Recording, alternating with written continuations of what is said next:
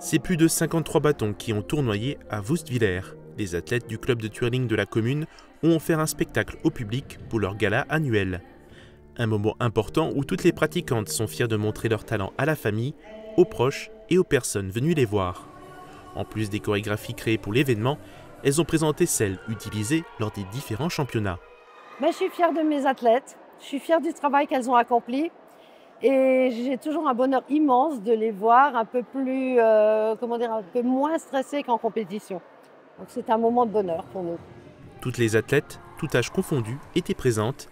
Pour présenter ces performances, plusieurs mois de répétition ont été nécessaires. Une tradition qui existe depuis la création du club il y a 40 ans.